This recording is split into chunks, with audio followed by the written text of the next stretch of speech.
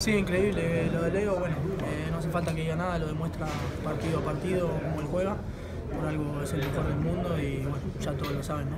Eh, sí, me dio la, la camiseta que me la, la estuvo pidiendo mi, mi padre, si no se la llevaba me, me mataba. No, no, nada, hablábamos un poco de todo, lo saludé, que hacía rato que no lo veía y me pone muy contento de verlo. ¿Es de Best para ti? ¿De Best? ¿Merecía haber estado en The Best? ¿Para ti es el mejor jugador del mundo? Sí, para mí sí, eh, pero bueno, no, no hay que hablar de.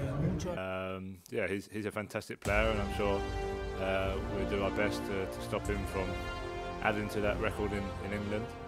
Yeah, well, he's set the standard. I, I think him and Ronaldo have um, gone above the, the normal standard that other people had set in, in the years gone past. And um, yeah, when you're scoring as many goals as, as he is, and, um, 40, 50, 60 goals a, uh, a season, uh, as, a striker, I want to try and match that and try and uh, do the same. So um, yeah, he's definitely set the standard for, for the rest of us, um, and he still is. He's still scoring scoring goals. So uh, for me, it motivates me to get even better and improve, and, and hopefully one day, uh, yeah, score score as many, if not more, than, than what he has.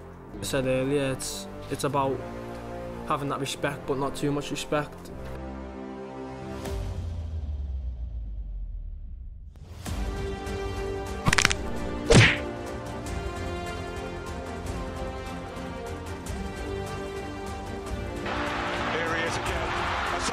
Astonishing.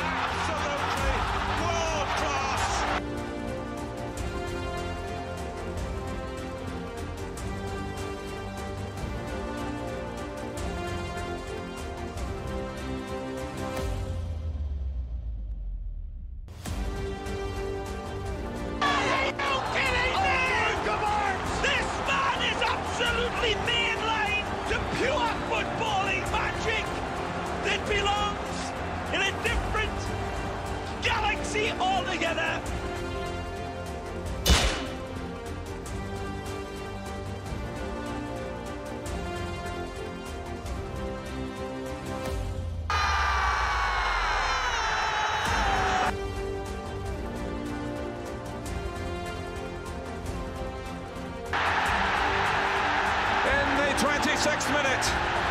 His 42nd goal of the season.